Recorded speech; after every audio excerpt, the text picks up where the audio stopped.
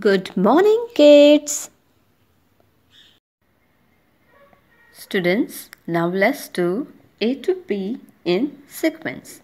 So let's begin. Write small cursive way, slant curve, then make it O, then come down, then tail. A says A. Now write B.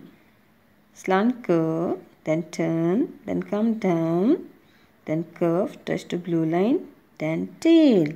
B says burr. Now write C. Slant curve, then write C. Here tail. C says curve. Now write D. Slant curve, then make it O, then go up, then on the same line come down, then tail. D says D. Now write E. Slant curve, then curve, then here tail. E says F.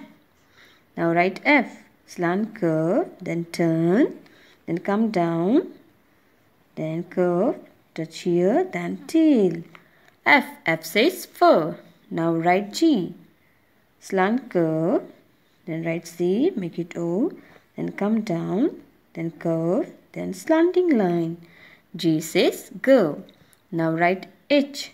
Slant curve, then turn, then come down on the same line, go up, then curve, touch the blue line, then curve. H, says how. Now write I. Slant curve, then curve. About dot. I says E.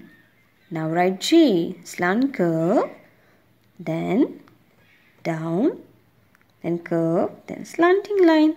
About dot. J says J. Now write K. Slant curve, then turn, then come down. On the same line, go up, then curve, then tail. Says curve. Now write L. Slant curve, then turn, then come down, then tail. L says love. Now write M. Slant curve, then standing line. On the same line, go up, then curve, standing line. On the same line, again go up, then curve, then tail. M says mom. Now write N.